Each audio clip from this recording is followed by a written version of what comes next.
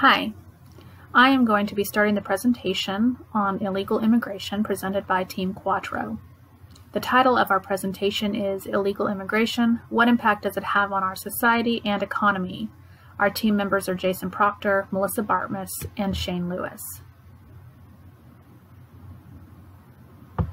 In this presentation, we've been asked to state a problem that we have identified with regard to the number of undocumented immigrants in the United States and the impact that that has on American society and economics. We've also been asked to give evidence that supports our position, to diagnose the sources of the problem, why does it exist, and give evidence that supports that position, to briefly identify two to three potential solutions, to recommend the solution we think is best, and to identify potential barriers to implementing this chosen solution. We will also briefly describe business opportunities that will come from proposed solution. We're going to start with a little bit of history on immigration in the United States. In 1924, Congress passed the Immigration Act of 1924, allowing visas for 2% of the total number of people in each nationality.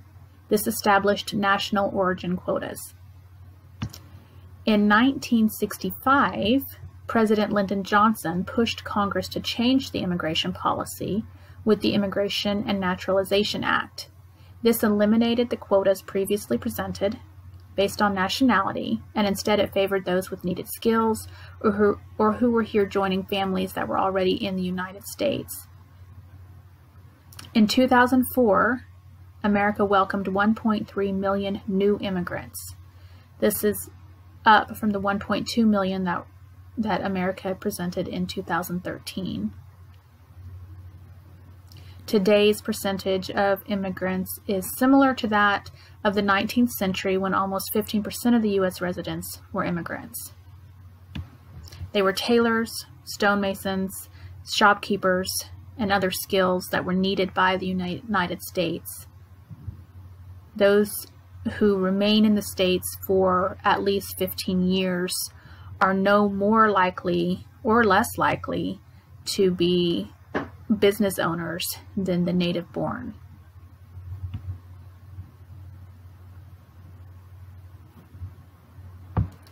Our problem statement is the complex immigration system is broken. Our legislative branch has refused to pass any legitimate immigration reform bill that would be effective in curbing the abundance of an overcrowded population. The American border is porous, and our immigration courts are suffering from a lack of judges to move detainees.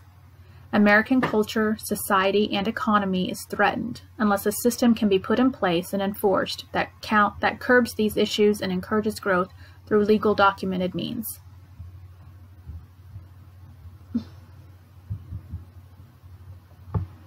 Why is this a problem? One issue is that the detention centers are overcrowded. According to an anonymous subject matter expert during a phone interview, we found that the average wait time for an initial hearing is 18 months. The immigration court is on backlog and there are over 900,000 cases pending in 2019 alone. There aren't enough judges to hear the cases. A negative impact on American society and economy would be the assimilation to American culture. This is promoting a language barrier which hinders aid and prompt response. It also hinders business opportunities both for the supply and demand. Overwhelming our welfare system, the tax dollars are being used to house and feed undocumented immigrants because they come over here and they are unable to find um, legal adequate jobs that will help them survive, that will pay them enough to survive because they're undocumented, they can't get legal jobs, so a lot of them are paid under the table or um, in which case they aren't paid enough to be able to survive and support their families. So they get on our welfare systems, which taxpayers pay for. Other potential problems that we have found is the continued negative impact that it has on the economy by the overcrowding in the unaccompanied, unaccompanied alien children program. Um, according to our anonymous subject matter expert, the parents are forcing children to cross the border to, for whatever reason, whether it's to um, keep them safe or just give them a better life. Um, but once they get here, we put them in foster homes until they're of age. American taxpayers have to pay um, for these foster homes, and according to the source, it is about $2,000 per child per month. While immigration creates an increase in certain industry demands in labor, in the labor pool, it also creates an increase in the demand for labor. So as the immigration increases, so does consumer demand, which means more workers are needed to provide goods and services. There's an unclear American immigration code and fraud. The American immigration code leaves much room for interpretation um, when explaining the exceptions for allowing immigrants. Um, it uses words such as exceptional, special, and hardships, which are very vague words to use and um, covers a, a vast majority of the people. There are many decisions that are inevitably come down to the judgment of individuals, which means they're susceptible to the peculiar psychology of the immigration bureaucracy. It's a quote from Rachel Morris. Visa fraud and overstaying visas has become a huge problem in the United States. Once visas expire, immigrants are not returning to their homeland. They are staying here, and there's no kind of tracing or keeping track of them to make sure that they go back to their countries or renew their visas.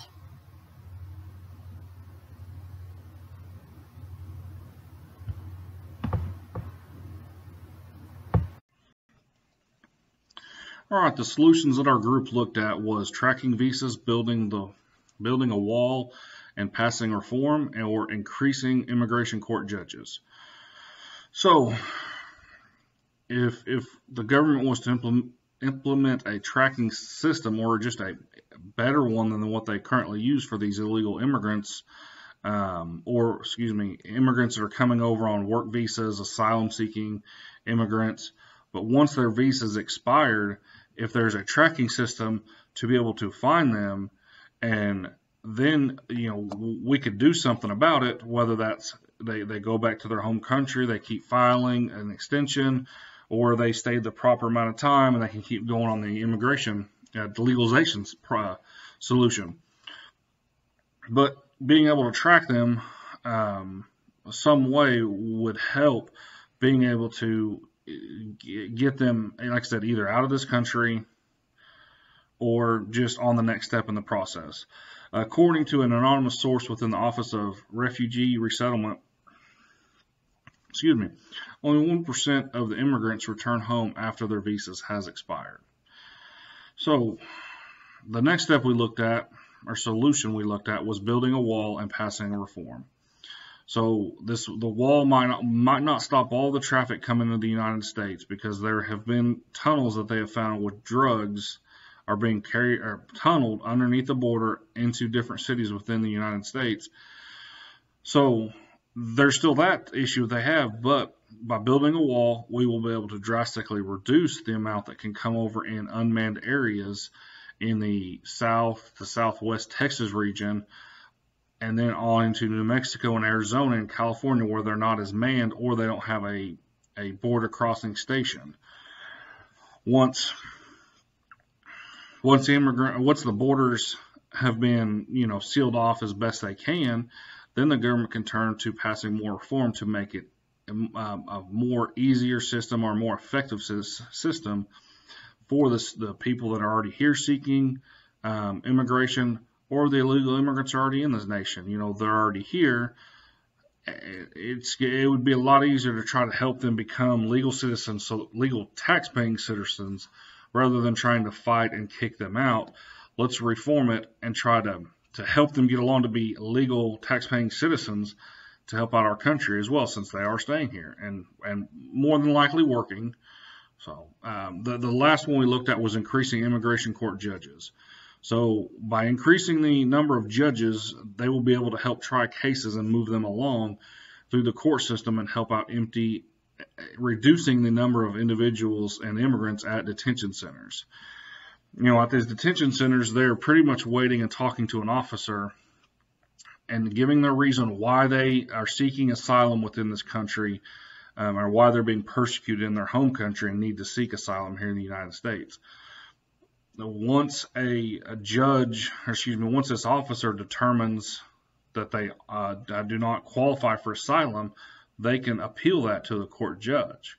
But right now, there's 900,000 court cases waiting to be heard with immigration on these asylum seekers. That's also an 18 month waiting period that turns into citizens that still get into the United States and are waiting.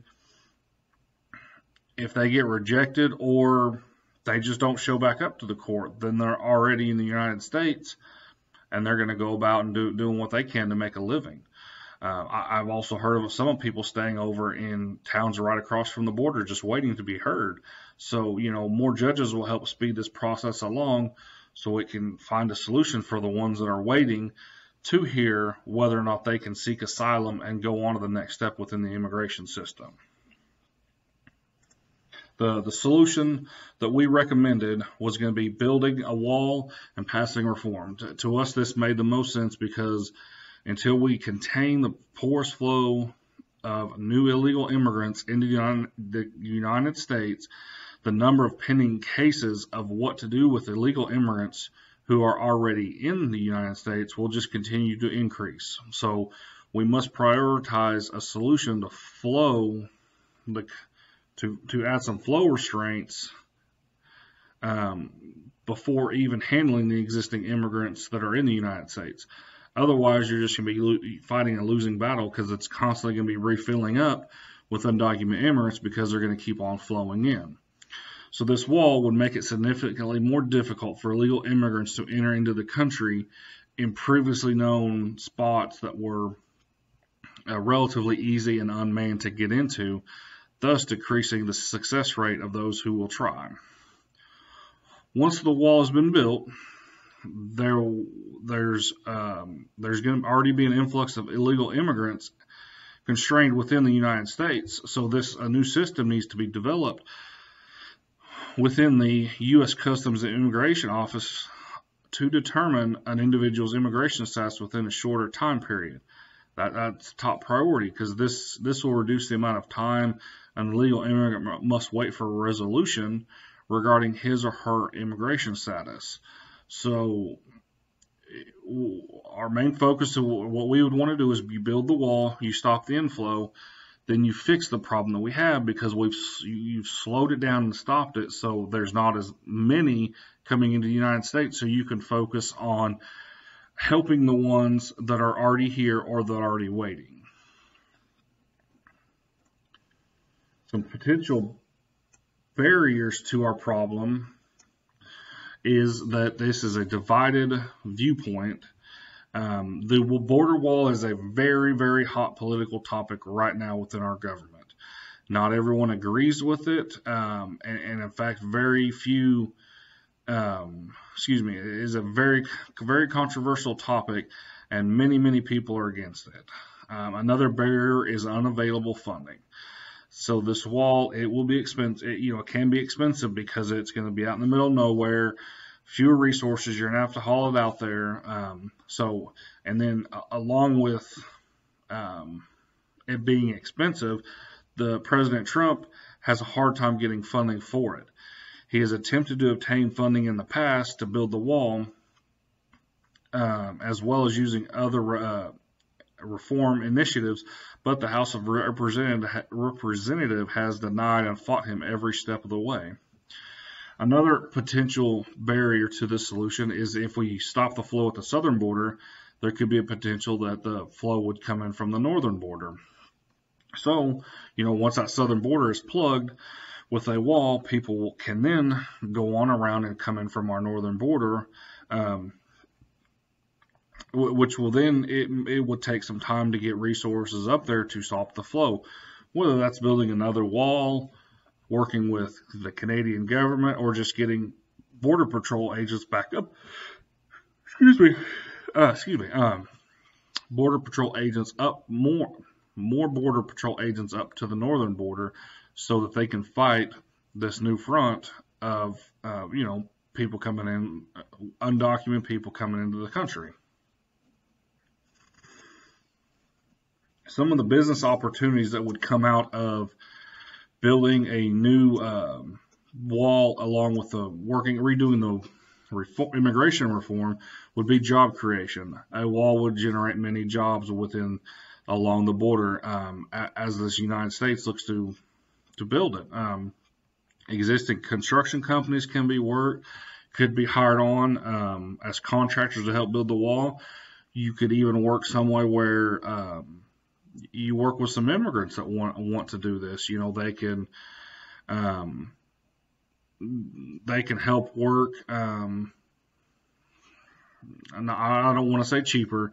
You know, they should be paid paid fairly, but you know, if they might be willing to help work, if if there's workers needed, um, it could be a solution to help them get, get along and um, help them kind of push through with their um, their immigration status. You could show them a way that they're willing to work and pay their taxes. Pretty much, I guess, is the way I look at it.